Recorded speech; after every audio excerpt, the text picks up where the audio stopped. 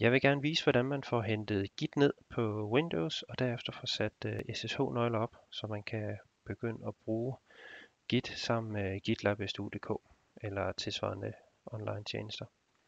Så det første vi skal gøre, det er at gå ind på gitscm.com, hvor vi kan hente øh, Git ned fra. Og øh, der er forskellige øh, muligheder herover.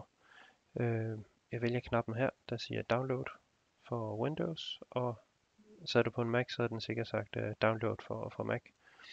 Eller i hvert fald komme med en guide til, hvordan man kunne gøre det. Jeg henter filen ned, og så skal jeg lige vente på, at den, den når helt ned. Det er den der. Så kan jeg sige åben. Og så vil computeren lige have lov til at installere ting. Så jeg taster password, og så kan vi køre videre derfra. Jeg siger næste. Og det er egentlig bare at hoppe øh, hele vejen igennem her. Standardindstillingerne passer ganske udmærket. Så det tager lige et øh, øjeblik at, at komme igennem her. Så den hjemmeside, jeg gerne vil have, vi får Git til at arbejde sammen med, det er GitLab SDU.dk. Så den skal jeg også lige logge ind på. Os lige et øjeblik.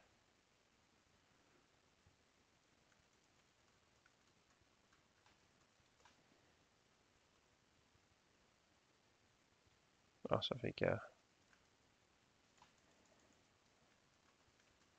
lige tastet forkert. Det kan også ske. Sådan der. Og så har jeg en masse projekter her, der, der ligger nogle ting øh, ved. Nu tager jeg bare en af dem her. Det er for hele klassen.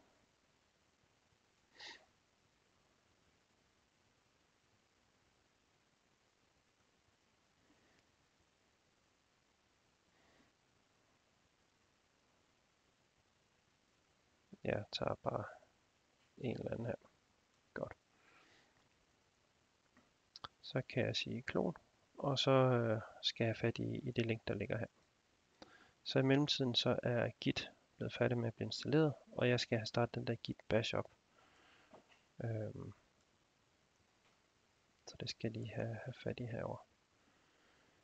Git bash er god, fordi man kan styre, hvad, hvad der sker hvor. Øhm, og det kan være let at sætte nogle ting op. Jeg vil også lige have Git GUI i gang. Øhm, fordi så kan jeg tjekke det her repository ud. Eller jeg lige først vise, hvordan vi først ser, at vi får en fejl, når jeg prøver at klone den uden at sætte nøgler op, og så øh, bagefter, hvordan det lykkes. Det jeg sætter ind her, det er den sti, jeg lige har kopieret over fra klon-knappen. Så skal jeg vælge, hvor jeg gerne vil have lagt mine filer. Det kan være på skrivebordet, og så skriver jeg lige øh, MATLAB-opgaver for at, og give den et øh, navn. Det er så ikke helt endnu, jeg skal skrive det. Nå. Så ny mappe. MATLAB-opgaver. Vælg mappe. Så er den med til det. Det er fint. Og så kan jeg sige klon.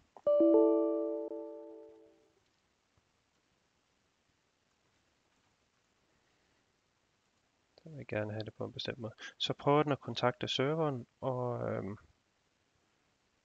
den siger, at den egentlig ikke helt ved, hvad den der server hedder, så det siger jeg lige yes til.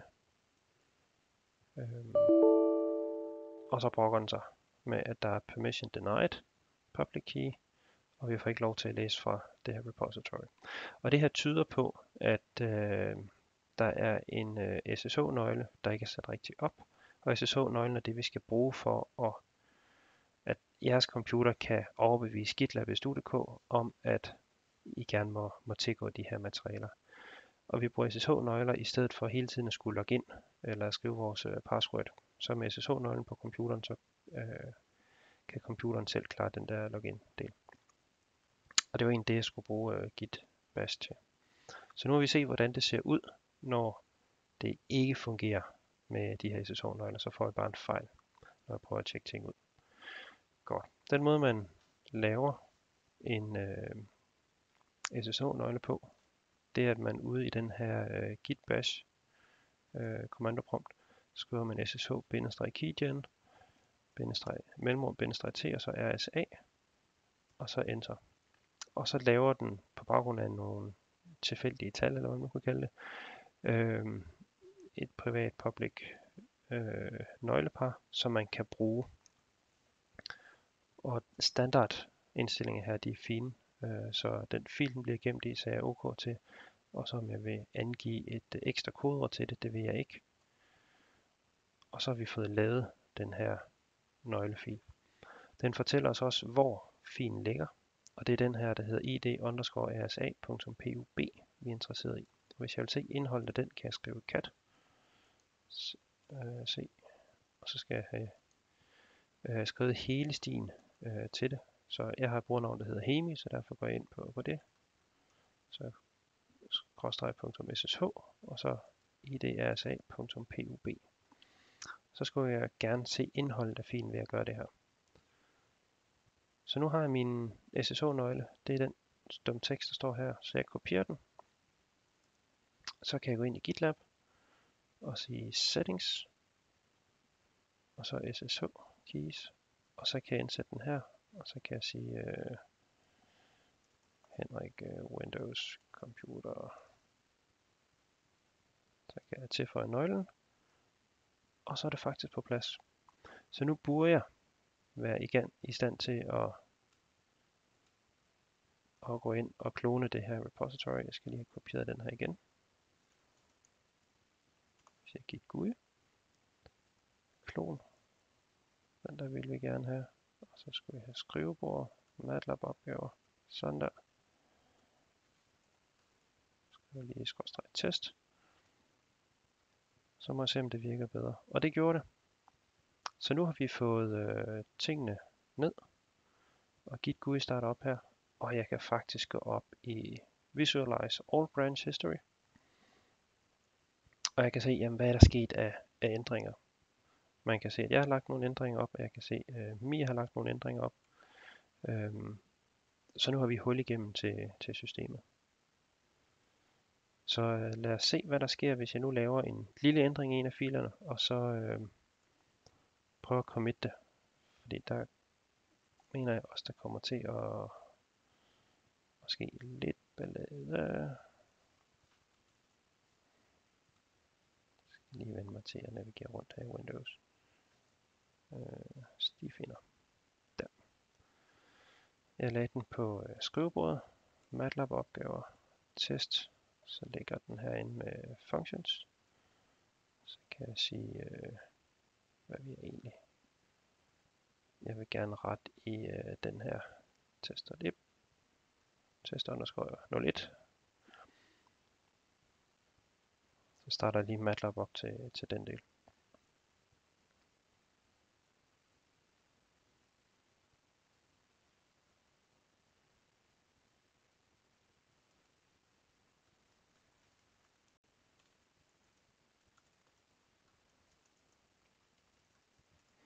Så nu har jeg lige skrevet en enkelt linjes kommentar herinde i, i filen, og så vil jeg gerne have, have lagt det ind i, øh, i Git. Så jeg siger F5 for at rescanne.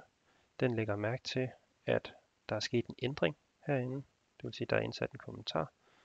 Den kan jeg så vælge ud til, at jeg gerne vil stagen, altså tage det med i, i næste commit, og så sådan der, så kan jeg sige commit, og så er det på plads. Og den har så skrevet mit øh, navn ind her, og faktisk også min mailadresse. Og øh, det er nok fordi jeg har haft installeret øh, øh, Git tidligere her på, på Windows, så den kunne huske hvad jeg hed. Men jeg vil også lige vise jer hvordan I får sat det op, fordi nogle gange så giver det nemlig en, en fejl. Og så skal vi igen herud i øh, kommandoprompten, og ja, man kunne godt lave lidt større, det er fint. Sådan der. Så den måde man fortæller Git, hvad ens navn og mailadresse er, det er, at man siger git config, git mellemrum config mellemrum, dash dash global, og så kan man skrive user name, så kan jeg skrive, hvad mit navn er, og tilsvarende kan jeg gøre med at skrive øh, user e-mail, og den måde jeg fandt øh, kommandoen frem her på, det var bare ved at trykke øh, pil op, og så får jeg lige ændret til at bruge min SDU mailadresse. Sådan der. Så næste gang jeg laver en øh, commit inde i Git, så vil det være det her navn og den her mailadresse, der bliver brugt. Jeg bruger øh, streg, streg global for at sige, det er alt, hvad der har med alle Git repositories på, på maskinen, der skal bruge det her nye øh, navn. Så lad os se, om, om det kommer til. Så, der. Så var der en ny kommentar. Og jeg skal lige have startet Git GUI op igen. Luk den. Så kan jeg sige Open Recent Repository. Det var den her nede. Og den har lagt mærke til, at der er indsat en ny kommentar. Så flere kommentarer. Jeg kan sige commit. Og vi kan gå herud Visualize All Branch History. Og jeg kan se, det nu er min, at det er det samme navn, jeg havde før, men øh, det er den nye mailadresse, der er brugt til at lave den her commit, så Git har, har hørt det efter. Øh, vi kan også se, at serveren lige nu er lidt bagefter, fordi den her Remote Origin Master, det er så langt ind i historien, som øh, GitLab SU.dk kender til, og jeg er to commits foran.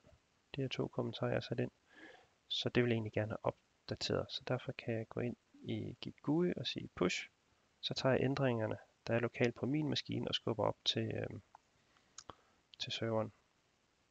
Den går igennem. Og hvis jeg så opdaterer billedet herinde, reload, sådan der, så kan jeg se, at serveren er nu det samme sted, som øh, master branch er, altså det jeg ser på lokalt på maskinen lige nu. Så nu er serveren opdateret med de her ændringer, og øh, dem jeg arbejder sammen med, vil så kunne arbejde videre med dem. Godt. Det håber jeg giver et overblik over, hvordan man får sat øh, Git og GitLab SU.dk op på en øh, Windows-maskine, så I kan komme i gang med at bruge det.